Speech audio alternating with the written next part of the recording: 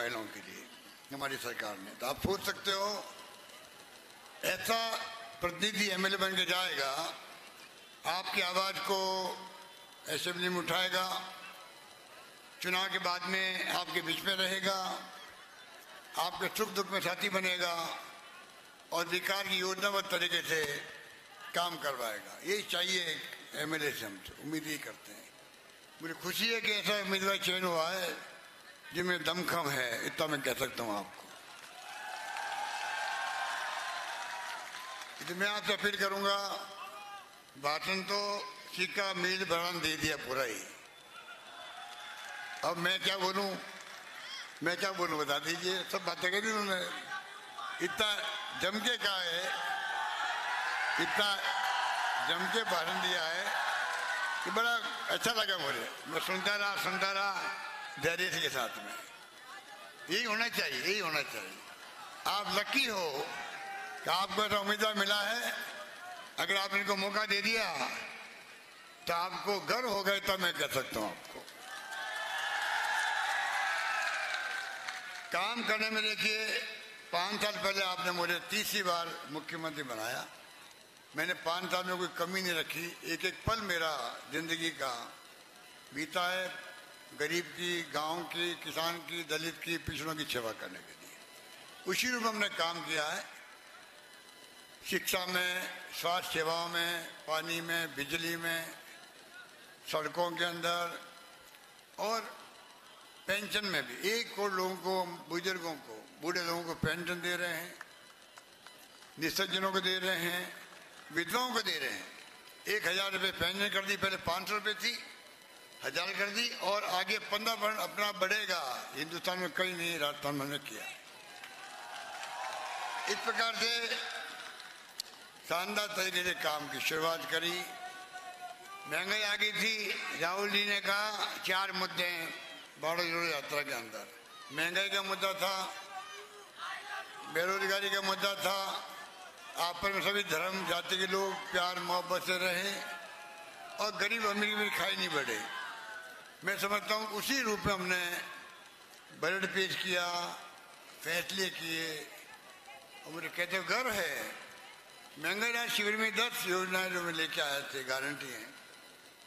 और हिंदुस्तान में कहीं नहीं है। पच्चीस लाख का बीमा हिंदुस्तान में कहीं नहीं है।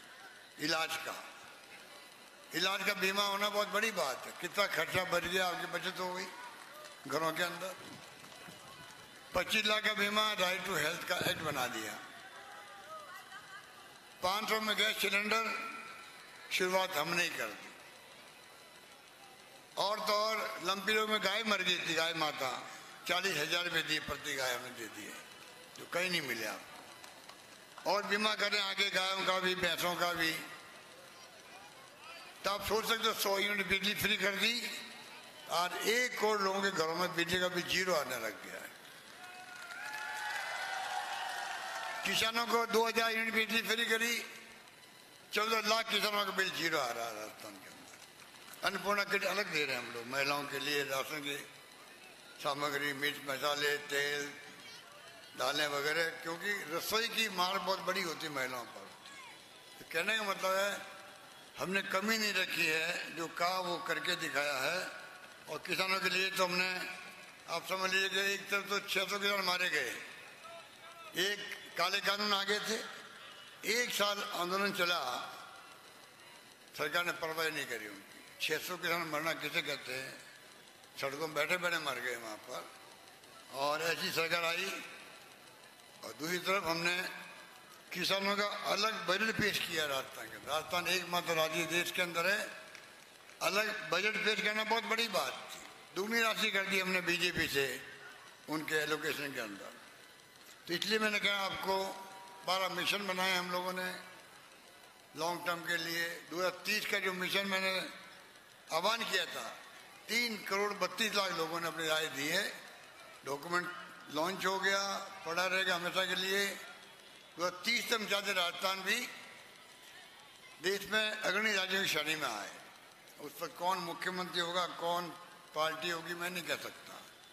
तो मेरा धर्म बनता था कि मैं अभी से ही प्लानिंग करूँ आगे आने वाली पीढ़ियों के लिए। क्या नक्शा और राजस्थान का बीस ज़िले बनाए हमने, बीस ज़िले नए बना दिए। अब नहीं, बीस ज़िले मैं चाहूँगा संभाग बन गया, आपका सीकर संभाग बन गया, पाली बन गया, बांसवाड़ा बन गया। दूर दूर नहीं जाना पड़ेगा। अब ठेठ कोतपुरी लोग जयपुर आते थे बार बार आने की ज़रूरत नहीं पड़ेगी। प्रशासनिक काम ढंग से होंगे। मैं चाहूँगा कि वहाँ प्लानिंग से नए ज़िले बसे। कलेक्ट्रेट भी, अन्य जो मिनी सचिवालय होते हैं वो। तो सपना देखा गया है आगे के राजस्थान का। मैं चाहूँगा कि जिस रूप में हमने कोई कमी नहीं रखी। आज पैंसठ कॉलेज कृषि कॉलेज राजस्थान में हैं। आप लोग किसान बैठे हुए इसलिए बता रहा हूँ आपको। पचपन किसानों में से तिरसठ कॉलेज में से इक्यावन कॉलेज सिर्फ़ कृषि कॉलेज मैंने इन पाँच साल में खोल दी पाँच साल में कुल 230 कॉलेज खोली राजस्थान के अंदर उसने 130 कॉलेज गर्ल्स की खोल दी भाई, यही शांत थोड़ा शांत थोड़ा। सितर साल में कॉलेज खोली है ढाई सौ। हमने पाँच साल में खोली है दो सौ तीस कॉलेज। एक सौ तीस तो गर्ल्स कॉलेज खोल दी और पाँच सौ लड़कियाँ पढ़ेगी स्कूल में, कॉलेज बना दी जाए कहने का मतलब बारीकी से हमने फैसले किया हर चीज़ का। इसलिए आज राजस्थान भर में लोग कहते हैं कि महिलाओं के लिए भी उड़ान योजना अलग है, नैपकिन मिल रहे हैं मंथली उनको। पढ़ाई फ्री है, लड़कियों की एमए तक की पढ़ाई फ्री है। स्कूटी अलग दे रहे हैं, नौकरी में थर्टी में आरक्षण कर दिया। और तो और एक करोड़ पैंतीस लाख महिलाओं को स्मार्टफ़ोन जिसमें 40 लाख तो बढ़ चुके हैं 40 लाख बढ़ चुके हैं। सरकार बनते ही एक करोड़ महिलाओं को और टेलीफोन मिलेंगे, मोबाइल फ़ोन मिलेंगे आपको। इस प्रकार से आप सोच सकते हैं कि आज जो गारंटी की बात बताई शिका बराला ने, अब मैं वापस रिपीट नहीं करना चाहता। इतने कह सकता हूँ कि बहुत ऐसी योजनाएँ वो है, छात्रों के लिए भी। इंग्लिश पढ़ना बहुत ज़रूरी है। मैं कुछ खिलाफ था इंग्लिश के। मैं जब पढ़ता था इंग्लिश क्या काम आएगी ये राजीव गांधी का सपना था ट्वेंटी फ़र्स्ट सेंचुरी में देश को ले आना है। कंप्यूटर का युग आएगा mobile phone internet YouTube Google आ गया, दुनिया मुट्ठी में हो गई। नॉलेज इज़ पावर ये कहावत बन गई है। और नॉलेज रखने के लिए ज़रूरी है आधुनिक इक्विपमेंट हो हमारे पास में। कंप्यूटर हो लैपटॉप हो टैबलेट हो। हमने क्या तय किया है? एक तरफ़ तो अंग्रेज़ी स्कूलें खोले हम लोग। और गाँव वालों को मैं धन्यवाद दूँगा। उन्होंने समझ लिया कि टाइम बदल गया है, बच्चों की लिस्ट पढ़ाओ। लॉटरी खोनी पड़ती है एडमिशन के लिए। इतनी भीड़ पड़ने लगी गाँव के अंदर। छः लाख बच्चे पढ़ रहे हैं। अब हम चाहते हैं, गारंटी देने जो मांगेगा गाँव के अंदर हिंदी के साथ साथ में इंग्लिश स्कूल भी खोलेंगे, ये मैं वादा करना चाहता हूँ आप लोगों से। कि हमारे बच्चे भी देश दुनिया में जा सके। और साथ में बारहवीं जो बच्चे पढ़ रहे अभी यहाँ बैठे होंगे कई बच्चे, वो जब फ़र्स्ट में जाएँगे फ़र्स्ट में जाते ही उनको, क्योंकि देखिए पैसे वाले तो खरीद लेंगे लैपटॉप या टैबलेट करीब बीस हज़ार का आता है वो। गरीब का बच्चा, किसान का बच्चा कैसे खरीदेगा? माँ बाप कहेंगे भाई, बीस हज़ार कहाँ से लाए? सरकार ने गारंटी दे दी है पब्लिक को, तमाम लाखों बच्चों को, जो जाएँगे फ़र्स्ट ईयर में, उन सबको जो सरकारी कॉलेज में जाएँगे, उन सबको लैपटॉप, टैबलेट दिया जाएगा, ये हमने कर दिया। इस प्रकार से कई फैसले किए हैं। तो मैं आपको आह्वान करना चाहूँगा। कहने को बहुत सारी बातें हैं। आप रोज मेरी स्पीच सुनते होंगे। अखबार में खूब खबरें छप गई आज तक। और इनके पास कहना कुछ है नहीं बीजेपी के पास में। इनका जो घोषणा पत्र आया है, वो भी हमारी स्कीमों की लिपापोती करी है, कुछ नहीं किया। है होमवर्क भी नहीं उनका। मैं उनसे पूछना चाहता हूँ, आप ये बताओ, अगर राजस्थान सरकार 25 लाख का बीमा दे सकती है तो बीजेपी की क्या सोच है? चौदह राज्य उनके पास में है। वो क्या सोचते हैं, बताएँ। बोल ही नहीं रहे हमने ओपीएस दे दिया कर्मचारियों को। वो पता ओपीएस के बारे में ओपिनियन क्या आपकी? उनके मुँह पे ताले लगे हुए हैं बीजेपी के। लिखा ही नहीं है उन्होंने मैनिफेस्टो के अंदर। हमने कहा पाँच सौ रुपये में गैस सिलेंडर दे रहे हैं। उन्हें साढ़े चार सौ लिख दिया। उन्हें पूछो, आपके पास केंद्र सरकार है, आप खाली राजस्थान के लिए लिख रहे हो, चौदह राज्यों में सरकार आपकी है। या तो आप प्रधानमंत्री जी कहते हैं आपको अब आगे से सब राज्यों में साढ़े चार सौ में सिलेंडर मिलेंगे। तो बात समझ में आती। खाली आपने रास्ता में लिख दिया। पेंशन हम दे रहे हैं। वो दो सौ रुपये पेंशन देते हैं। हम हज़ार रुपये पेंशन दे रहे हैं। मैं चाहता हूँ कि right to social security act बने। आपने सुना होगा, मैं कई बार कहता हूँ, आप लोग भी नहीं समझ पाते होंगे। चार कानून पार किए सोनिया गांधी जी ने और डॉक्टर मनमोहन सिंह जी नरेगा, वरदान साबित हुआ। Right to information right to education और फ़ूड सिक्योरिटी एक्ट मैं कहना चाहूँगा प्रधानमंत्री जी को, पांचवा कानून पास करो। राइट टू सोशल सिक्योरिटी हर परिवार को, दुनिया के मुल्कों में पैसा मिलता है, मंथली। राहुल गांधी ने कहा छः हज़ार रुपये महीने जी पर मंथ, एक परिवार को। कानून बनेगा, नियम बन जाएँगे, किसी को कितना मिले। हर परिवार को ज़िंदा रखने का जीवन चलाए वो परिवार चलाए। उसकी ज़िम्मेदारी सरकार की होनी चाहिए गरीब आदमी मजदूर है। चार साल का हो गया। सही साथ देता हूँ।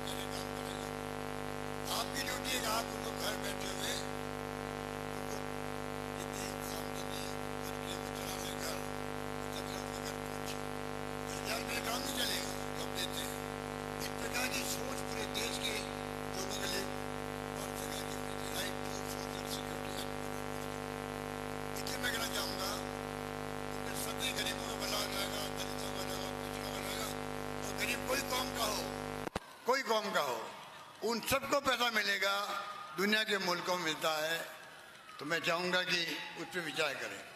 शहरी रोज़गार योजना हिंदुस्तान में दो तीन राज्यों में होगी। इंदिरा गांधी के नाम से हमने की है नरेगा की तरह काम मिलने लग गया शहरों में। इसके ऊपर क्या विचार है बीजेपी के नेताओं का? जो बड़े बड़े नेता आते हैं बाहर से, प्राइम मिनिस्टर भी आ रहे हैं, होम मिनिस्टर आ रहे हैं, उनके अध्यक्ष आ रहे हैं, रक्षा मंत्री आ रहे हैं आसाम के मुख्यमंत्री पता नहीं आगे क्या बोलते हैं। योगी महाराज पता नहीं क्या बक्के जाते हैं यहाँ से बकवादी करते हो तो। ये भड़काने लोगों को। ये भड़काने का चुनाव नहीं है। ये चुनाव लोकतंत्र उत्सव है ये। उत्सव मनाओ इसको। हमारी स्कीम है। हमने कानून पास किए हैं। शानदार। हम गिग वर्कर का कानून पास कर दिया। मिनिमम इनकम का कानून पास कर दिया। किसानों का जमीनें कुड़क नहीं हो सकेगी। हाईकोर्ट जज तय करेगा, वो कानून पास कर दिया। उस पर बहस करो ये लोग। आप हमारी आलोचना करो, कमियाँ बताओ, हमारी स्कीमों की, हमारे कानून पास करने की, हमारी गारंटियों की। तब समझ में आता कि आप हमसे लोकतंत्र में बहस कर रहे हो। वो नहीं करेंगे। जो बहस कर रहे हैं, आप जानते हो क्या क्या शब्द काम दे रहे हैं? मेरे ऊपर जादू समाप्त हो जाएगा तीन तारीख को, प्राइम मिनिस्टर बोल रहे हैं। अरे मैं चुनाव जीता है हारा हूँ। पचास साल से मेरे जादू समाप्त हुआ नहीं कभी। अब कैसे हो जाएगा? तो कहना चाहूँगा मैं आपको कि ये जो है, ये बाजीगरी है इनकी। ये जनता को भड़का रहे हैं, जो नहीं भड़काना चाहिए। बहस करो हमसे। उसके बाद में माई बाप जनता है, वो फैसला करेगी पाँच साल में काम हुआ या नहीं हुआ। कहाँ कमी रही, खाली घोषणाएँ हुई इम्प्लीमेंट नहीं हुआ क्या? जनता फैसला करेगी। आप अपनी बात तो कहो, वो नहीं कह रहे इसलिए मैं कहना चाहूँगा आपको कि ये शहरी रोज़गार योजना का क्या विचार है? ई आर सी पी वादा करके प्राइम मिनिस्टर जयपुर में अजमेर के अंदर। अब वादा निभाओ नहीं, ये कहाँ की समझदारी है?